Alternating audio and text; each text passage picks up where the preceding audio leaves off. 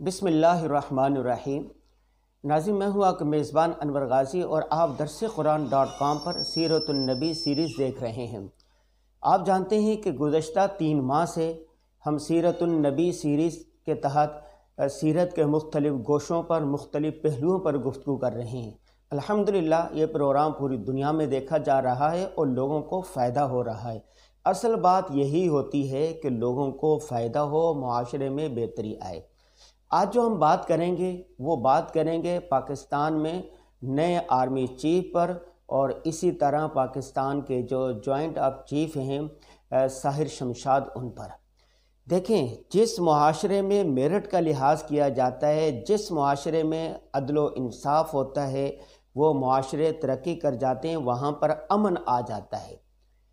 दुनिया में बदअमनी क्यों आती है? उसकी दिगर वजूहत में से एक बड़ी वजह यह होती है कि लोग इंसाफ नहीं करते मेरिट का ख्याल नहीं रखते।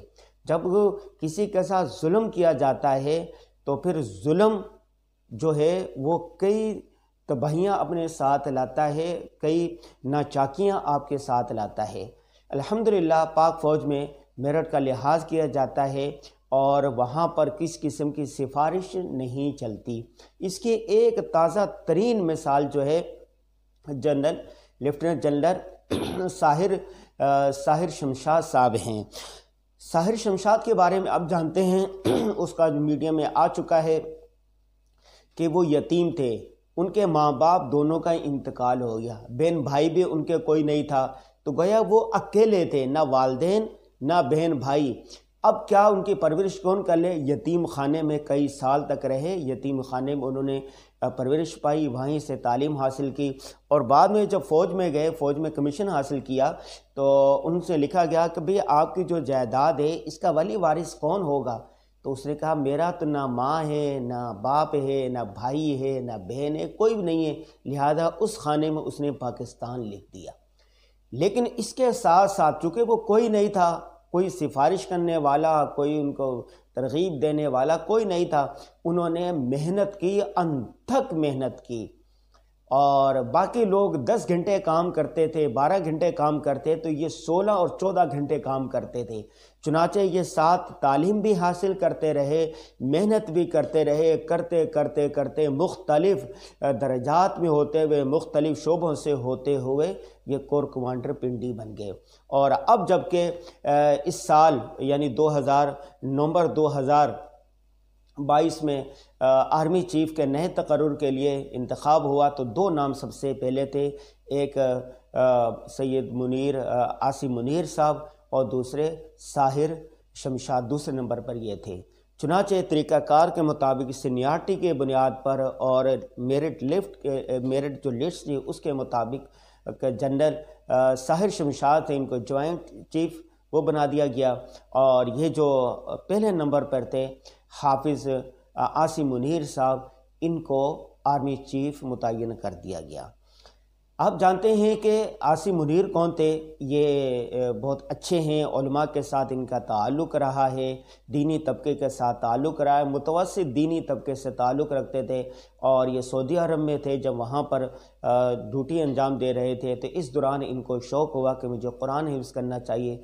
चुनाचे तीन साल में इन्होंने कुरान पाक हिफ्स किया और अरबी भी सीखी। इस वक्त ये अरबी में भी अच्छी गुफ्तु कर सकते हैं, उर्दू में भी गुफ्तु कर सकते हैं। इसके साथ साथ कुरान पाक बड़े खूबसूरत लबो लहजे में पढ़ते हैं। इसकी वीडियोस मीडिया पर आ चुकी हैं।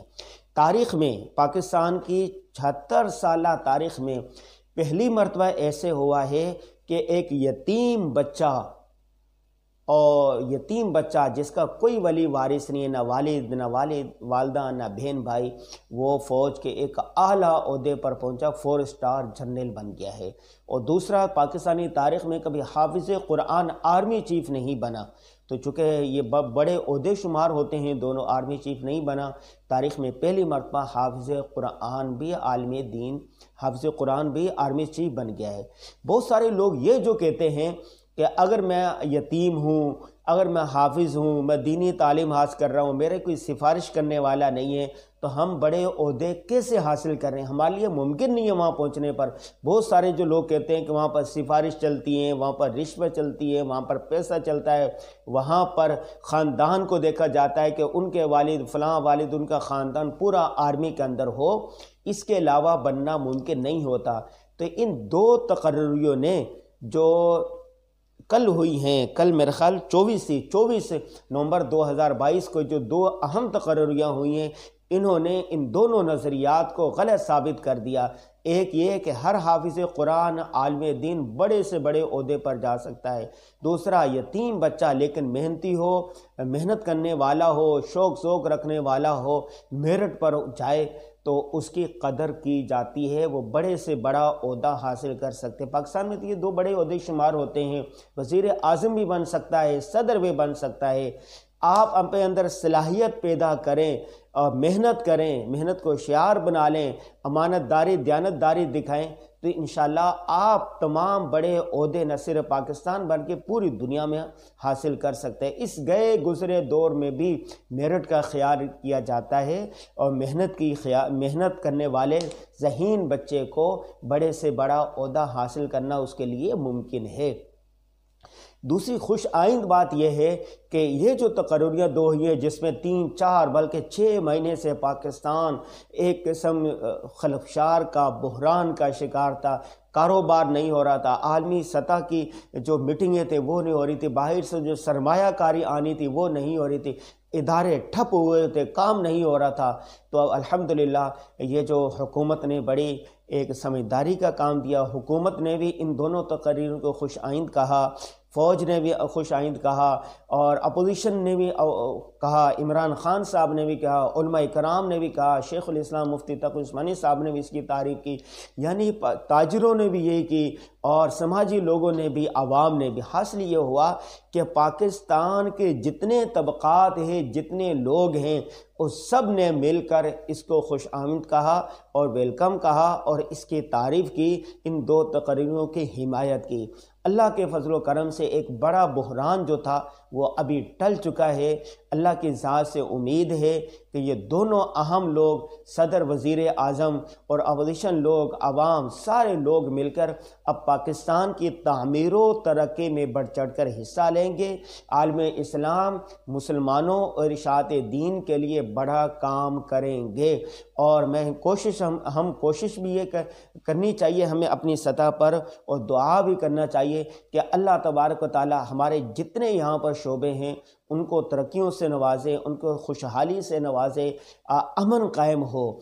सबसे बड़ी बात है कि जिस माशरे में अमन कायम होता है, वहाँ पर खुशहाली आती है, वहाँ पर तरक्की होती है, वो मुल्क कौम ऊपर जाते हैं। इब्राहिम आसमाम ने दुआ की थी बैतुल्ला को तामीर करने के बाद, रब्बी जाहिल हाजलबलदा आमिना, या बारी ताला, इस शहर को अमन का गेवारा बना दे। और अमन व अमान आता है अदल इंसाफ से।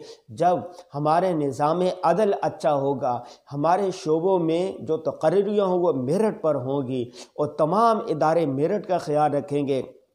और तमाम इदारे जिसका हक है, जिसका जो हक बनता है उसको हक देंगे, किसी की हक ना हक तलफी नहीं करेंगे, जुल्म नहीं करेंगे किसी के साथ तो अमन भी आएगा, खुशहाली भी आएगी माशरे भी आगे बढ़ेंगे, मुल्क कौम भी आगे बढ़ेंगे दीन इस्लाम का काम भी होगा और इशात दीन का काम भी होगा, मुसलमान भी खुशहाल होंगे और इन एक वक्त आएगा दीन इस्लाम का जो पैगाम है, वो हर कच्चे और पक्के घर में दाखिल हो जाएगा।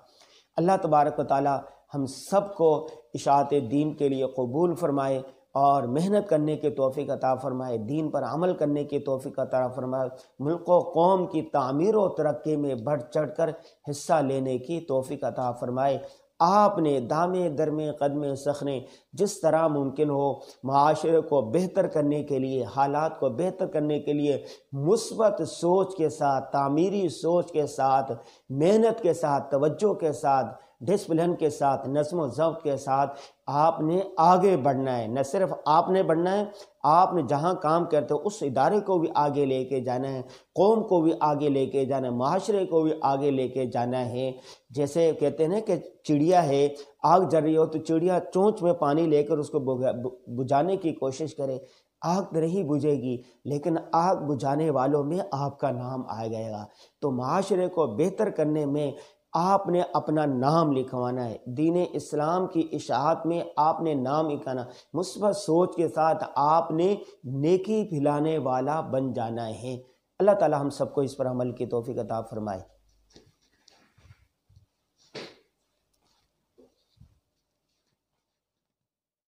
दरस